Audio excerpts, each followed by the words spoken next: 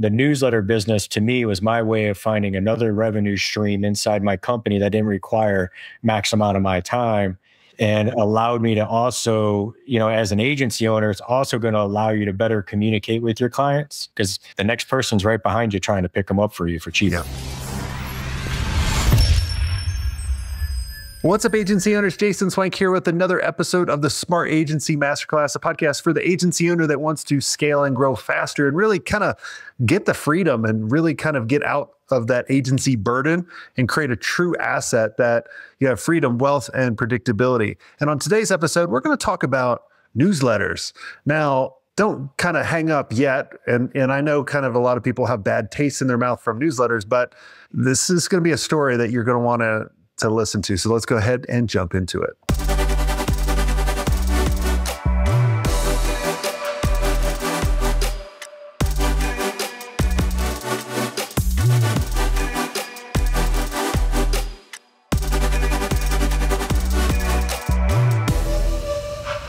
Hey, Nate, welcome to the show. Hey, what's going on? Happy to be here. Yeah, man, excited to have you on. So tell us who you are and what do you do? Oh, well, Nate Kennedy. I am a uh, dad by day, emailer by night. No, so history of myself, real quick, is I'm in the. I used to have a marketing agency, been in the internet marketing space since 2006. All the, I guess, the accolades. Have spent over 100 million dollars for my clients, mostly my clients at the time, and then also for myself. Uh, got tired of the agency business, so I reinvented what I was doing because it was taking up too much of my uh, time and I was spending less time with my family. So I wanted to reinvent myself and moved over to media company and building out newsletters for ourselves and built my life first and then my business to support it. So nice. I like that. You know, it's uh, a lot of us are accidental and gonna get get drawn into the business and then if you don't start designing it the right way, it can really kind of create a good wall or a prison around you. Let's kind of jump into it and talk about kind of newsletters. You know, I was telling you, and then I kind of shut myself up before I hit record. I was like, you know, we're, we're just kind of redoing our newsletter. Like I always felt like, and here's the impression a lot of people feel about newsletters is if you see a bunch of images and all this stuff, it's too busy, it's just spam and you just delete it rather than getting a regular email with like personalized text being like, hey, are you uh, a Redwood digital agency and you want to grow or whatever it is? Help me with the belief of going, making sure I'm going in the right direction with our newsletter because we are putting some graphics and and kind of recapping the week and that kind of stuff. So set us on the right path. Got it. So for me, when I look at a newsletter, I look at what's content are we delivering. So for me, a newsletter is helping somebody within a specific niche or industry and providing value to them. So a lot of what we do is you can do it one of two ways. One, it can be your thoughts, your insights, your content that's helping them get better. So, or it could be curated content for that industry. So, for example, in our financial newsletter that we own, we curate financial news for the consumer. So it's consumer products on the financial side, right? It's not business to B2B or anything like that. Or we're just teaching consumers how to actually become financially smarter. And so we're curating a lot of content across the web in different segments to help them get a five minute read every day that's going to level up their knowledge and become smarter, right? And so that is different. We're not writing all that content, we're curating it. And we use AI a lot inside of some of that as well to help that content. But then I also have a newsletter that I that I have for entrepreneurs and founders, really just my insights and my thoughts. So what I'm thinking, it's more personalized where I am writing that stuff and I am sending it out, right? So there are, and part of that, what you just said is on your newsletter, and there's not a ton of images in that stuff. We do have some, but it's not it's not like a e-com style product newsletter, right? It's going to have a bunch of imagery and everything else. We don't have that. We're, it's true valuable content that your person that you're emailing can gain value from, right? And it helps position you more as that trusted advisor, that expert, the person that they want to listen to and, and gain information from, right? So you're you're taking something, doing all the heavy lifting and making their life easier daily, right? So it's got to be valuable content, not just pretty graphics for sure. If you have a target audience, a specific audience, and you know their challenges or what they want, you can either curate at all You can write from your personal thoughts, or you can do a hybrid of both and kind of put it all together. What's the amount of time between newsletters that you send out that you found the most successful? So, our most successful, most profitable go out daily. Daily. So we yes, and now those are curated. Okay. So I call you're either the curator or you're the creator, right? And so the curated newsletters go out daily, at least six days a week. And our ones that were, were creators, they go out less. I send, I send on my, where I'm a creator, I send one on a Tuesday and then I post a lot of content online. So I, I take all those links and I put them in a digital roundup every week. Mm-hmm. And so I'm sending that content to trying to get to our newsletter so they can kind of also start seeing us, seeing me in other platforms, right? And ideally now when they get a newsletter from me on Tuesday, they see my new video on Wednesday. But kind of, you know, build more more rapport and trust, right? So, you know, for me, it depends on what your goal is at the end of the day. Like, so our newsletters that are brand based, that aren't like expert based. So we have a bunch of conservative newsletters. We send seven days a week, but we have advertisers in them seven days a week. Mm-hmm. If you yeah. had to go back to when you were running your agency, what kind of newsletter would you create? How often would you send it out? Yeah, if I go back to owning my agency, I would use a newsletter in our way that I would have. I do the two model. I do two a week, two to three a week max, because you don't want to overkill because you're you're you're mailing to your clients, and so really, and I also would leverage the model where you said kind of a combination, right? So a hybrid. I'd have some content I created in it, and then I would also have some around the world kind of around around the world of marketing section, right? And things that are happening and updates that are going down in regards to Facebook's changing this. You know, they're now Meta, right? It's now X. Like I would give those updates of what's happening in the space that's going to have a positive impact on them. So they they know what's going on. So they understand also on the back end, like, hey, we're back here working. We're not only doing the work for you, but we're in the trenches researching this stuff, making sure we're staying ahead of the game. And we want to make sure that when we're together, you're staying on the same page as us and understand these changes are happening too, right? So I would go more along those lines twice a week, but it's, you know, and one that's kind of here, you know, marketing and review, marketing for the week. If depending on what it is niche you're in, right? Obviously, agency can be a bunch of different niches, but you want to make sure that it speaks to them and then two, I would also, if you're creating a lot of content of your own as an agency, I would do a digital roundup that kind of puts that information in front of them as well. Which do you find gets more of a, a click through or engagement? Is it ones that are kind of a sum up from the week or kind of the emails that are more to the point? So for us, we get similar opens across the board. But the way we structure a digital roundup, we're getting more clicks because you're dealing with bullets, hyperlinked bullets of like the content that you put out. Whereas if you're doing a hybrid model where you have your own content, it's going to be more of a traditional email that's got maybe it's got a larger summary that drives out. Maybe it's got a, a full email breaking down a specific insight and then underneath it you're going to have maybe your bullets of different hyper hyperlinks to different articles and stuff that's going on so you're going to get more clicks in the roundup because that's what it's designed to do but at the end of the day you're going to build more trust rapport of like here's what we're at here's where we're at here's what we're doing and here's how we're impacting things for you right yeah. now by telling them what's going on. And are you seeing like with the roundup what is better to do? Is it kind of break things up into sections? Or like you were saying like link link link link like headline link link like which is better? So we prefer to break all of our stuff up in sections. So it would be potentially you know we could break it up into different for me i have it in snippets of social content then i've got a podcast i rolled out then i've got you know like you know so like when this goes live send me a link it'll go out right inside of there. And then if it's, and then we also do kind of, uh, you know, what we'll embed something else from potentially Twitter if we post it there, right? So valuable content. Yeah. And on our newsletter side, we're going to do on the very beginning, we're going to do the kind of insight, which is going to be a little bit longer, a little bit more of a summary, a good quality piece. But then I'm going to break up snippets into buckets below. And that might be, it could be website development. It could be online advertising, which could be your Facebook, your Twitter, your your mm-hmm. native ads, your Bing, all that. Or you could potentially even have tools as a section. But I would break it up and group it into sections. But when I group it into sections, I want this that group to be big enough to be able to have enough content to be in it. Right. I don't want to have a tool section and then once a week I just have one tool. Unless that's the structure. I'm saying, hey, tool of the week, right? Yeah. We started doing our newsletter about this would be the fourth one coming up next week, I think.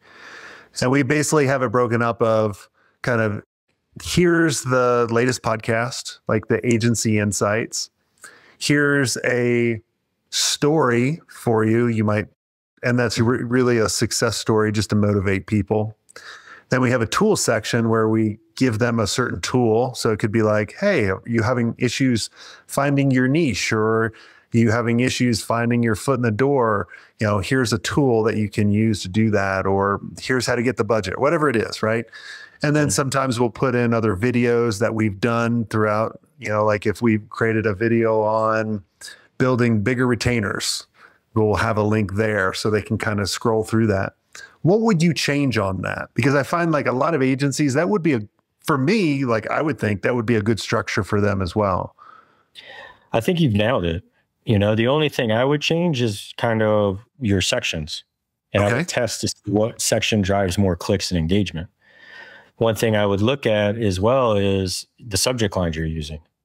So one thing that we started doing in one of our in our newsletters was when we got a lot of content in there, we'll actually use the subject line for the piece at the bottom, right, of the newsletter because or it'll be in a sub headline, right? The preview.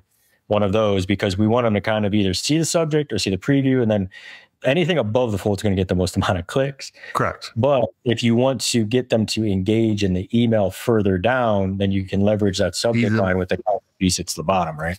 What are you using AI for? Content creation. So we've got a process we we use it for. So for example, one one simple way that we use it is we'll take an article and say, "Hey, I need a 50 word summary of this article with this type of tone, right? And whatever it is. And then we'll plug that in.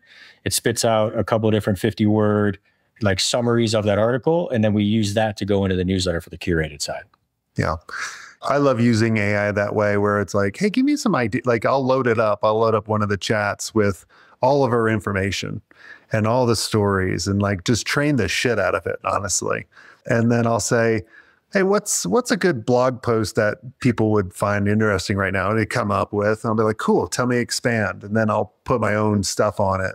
And it's amazing what it does. Like, and I'll even say, like, write it in a comedic tone or write it like Snoop Dogg wrote it or or whatever. And it does it. It's just it's kind of crazy. It's it's actually kind of fun. You know, one of the things that I was just doing this week, since this is our kind of our fourth coming out, I wanted to uh, train my team to do it because I don't want to do it anymore, right? Like if I keep doing it, the newsletter will not get done.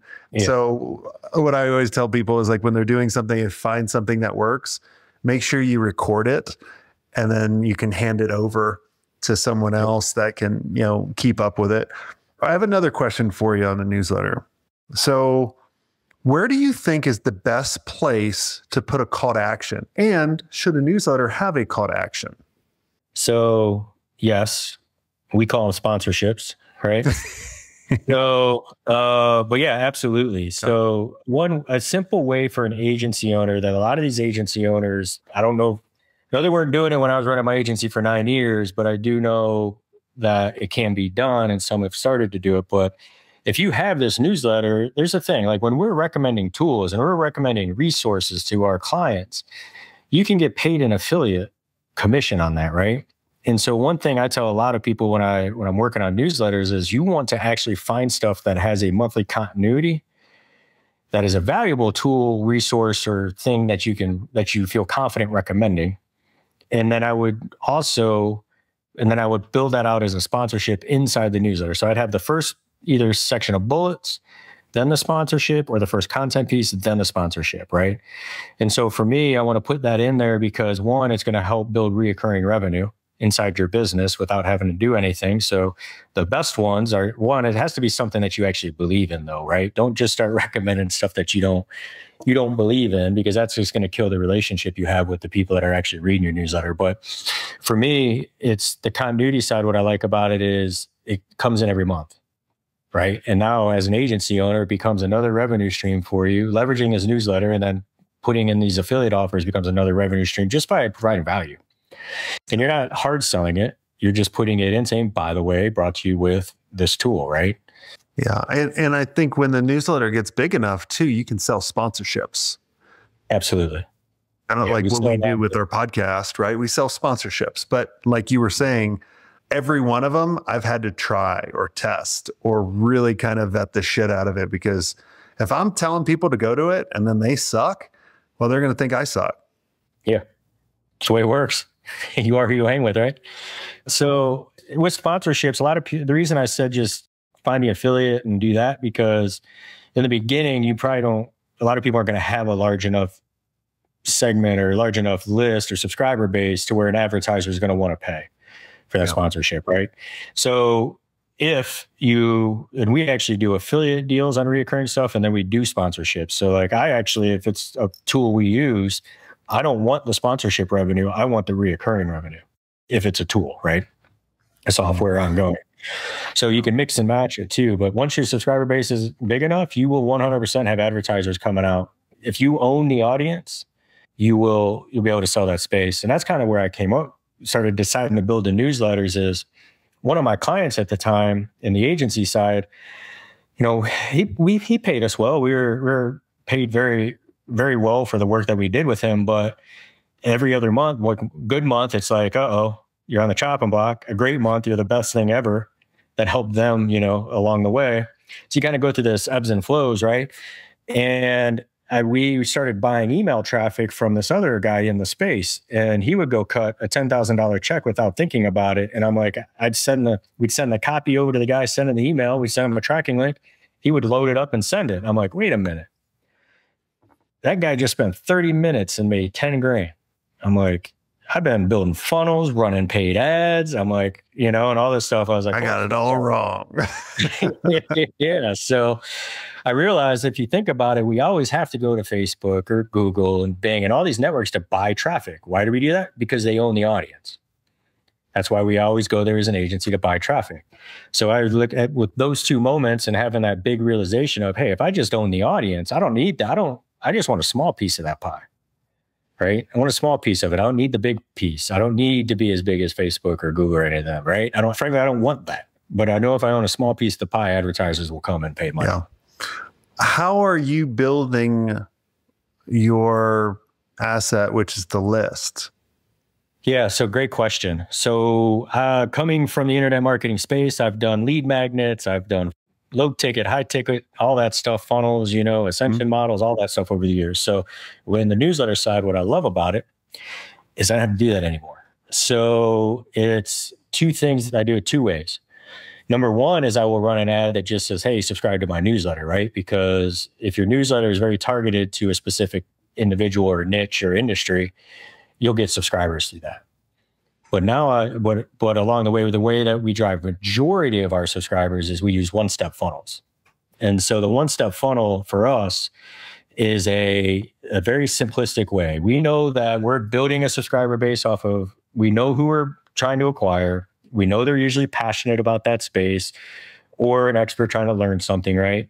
And so we will use a one step funnel, which can be a poll, like having them vote on something we know they're passionate about. It could be a question of like, hey, would you do prime example? We did a lot of stuff in the conservative space. Who should be the Republican candidate? And you put three, four people on there and let them vote, right? And now, if they if you put a Democratic candidate in there on a conservative traffic list and they pick the Democratic candidate, you want to make sure they don't make it into your subscriber base, right? so, but uh, so and vice versa if you're running on the other side of the dial on that traffic. But another thing could be simply is like, do you think so? Like one poll that we ran a lot of, do you think Trump should run for a second term? And I'm using conservative because that's what we did a lot of on before we expanded in other niches. And uh, that's a yes or no, right? And so people are find projects, find stuff. If you're going after the pet industry, if you only could have one, what would you take, dog or cat? You know. Yep. So people are fanatics, right? They're they're super passionate. So like you're going to get people voting on that, and then we're also going to tally those votes to give people the results. I like that. I like that. I've I've always been the model of building it through a lead magnet, and that's a lot more challenging. I do like the quizzes though. Like, which one are you? I think now I'm like, does your agency own you, or do you own the agency? yeah. Everybody be like, yeah, the agency owns me, dummy. yeah, for sure. You know, I, I did one in the that I tested. It didn't go well for me uh, when I did run it. But the is it the offer or is it the offer or the traffic? What's more important, the offer or the traffic? And uh, interesting enough, man, they marketing people weren't that as passionate as I thought they would be about. What they say? What most people say? It was about 50-50. But really, what were you thinking it would be? I was like, I didn't, to me, I didn't care because it does, I didn't care who was going to win. I just wanted my lead cost to be down. I wanted people passionate about the topic and my lead cost to be low. My mm-hmm. lead cost was through Either way, no matter what they picked, I was attracting the right person. Yes, of course.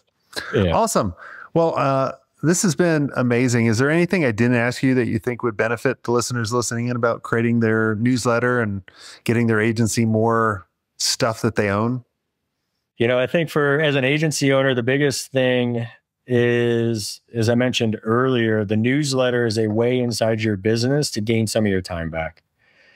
So as you start as an agency owner, I found myself trapped in my agency. I found myself stressed out because my clients were constantly calling me all hours of the day.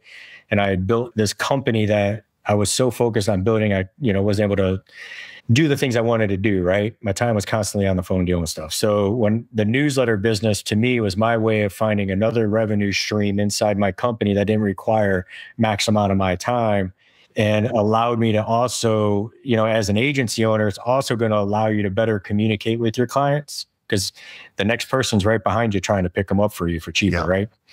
So a newsletter is going to help you stay front of mind and they're going to be reminded why they hired you, not wondering why they hired you. That's a big piece. And so the newsletter give you that ability to do that. Don't stress it, just send it. You know, like don't stress about it. Send it, get it done, put some content in there. Does you don't have to write this beautiful thing. Just update them, give them tips, give them knowledge, and make them easier to communicate. You know, as you train them, they become better clients, right? Yeah. And whenever you create anything, the first version is always going to suck. And you just got to keep getting better and better. Like I know every week we're always constantly on different things that we're doing. We're like, how can we make this 5% better, 10% better, 1% better, whatever it is, and just kind of step it up. That's what I've been trying for the past nine years. Just like, how do I get the interview style a little bit better, a little bit better?